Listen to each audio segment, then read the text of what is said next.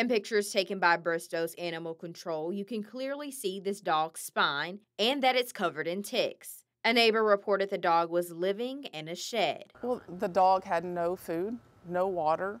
It like it had been in a cage its whole life. That's unacceptable. Bristow Police Chief Kendra Rainey says when they went to check it out, the dog's teeth were nearly at gum level from chewing on wood and insulation. It's, it's sickening. It's sickening for us to have to see that. It's sickening for the dogs to have to go through that.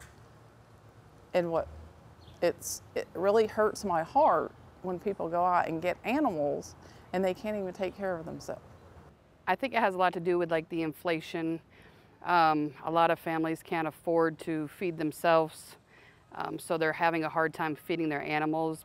Animal Control Officer Abby Natchke says she's limited in what she can do if an owner is meeting basic needs. But if a dog is in bad shape, like the one in these pictures, then she calls for backup and gets police involved. Ruth Steinberger, the founder and executive director of Spay First, says Oklahoma has specific laws to protect animals. Oklahoma has some of the most enforceable and therefore the best animal cruelty laws that there are. And there's a number of them that we got years before other states enacted them. And one of them is that in Oklahoma, if for just cause, an animal can be seized and a person has the right to a hearing.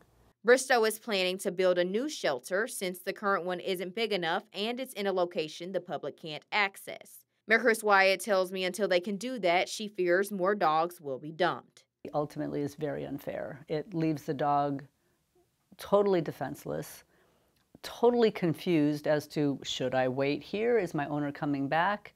And it, it, and it really puts an unfair burden on, on, on the Bristow taxpayers to have to send funding in the direction of people who use this as a dumping site for their unwanted pets.